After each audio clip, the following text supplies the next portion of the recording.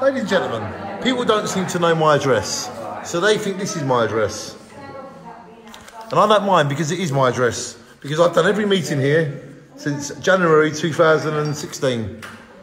So, shall we open these letters and see who they're from and what they're about? This gonna happen. Seriously. Should we open this one first or this one? This one, okay.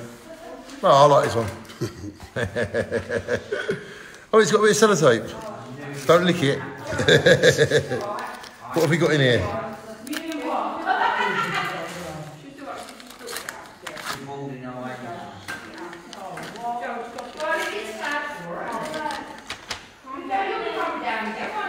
Craigside, Littlehampton, Umberleigh, Devon.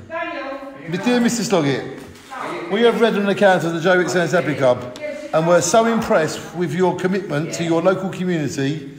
We are now in our 70s, but when we were teenagers, we camped at Jaywick and have many happy memories of that time. Please use the enclosed in whatever way you feel appro- appropriated, and we'll do it. And we do hope someone who is having a difficult time, and we hope it will help someone who's having a difficult time. God bless you in this wonderful work that you do. Yours sincerely, Peter and Noreen Golin. Peter and Norah Joslin. Peter and Norah Joslin have sent me a letter with a little cheque for me to do what I want with for the Happy Club. Thank you very much. I will do that. And I'd just like to say from the Jaywick Happy Club, thank you very much to Peter and Norah. I will put this in my bank and make sure I spend it on someone that deserves it. Thank you very much. We've got another letter too. Should we read that too? Thank you, Peter and Norah. We need your love.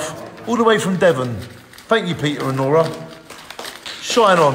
Yeah, yeah, that's it, Joanne. Thank you. Okay, that's one letter. We're, we're going to shine that one off and make another letter video for the next letter. One second.